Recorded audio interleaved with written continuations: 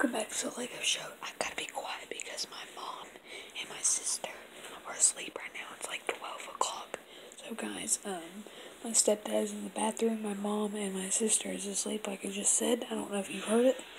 This is my Hot Wheels collection and another review on the other Christmas Legos.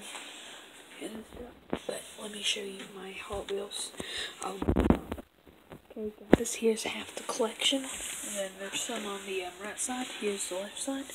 So these will be opened every two cars will be opened on separate days of Hot Wheels.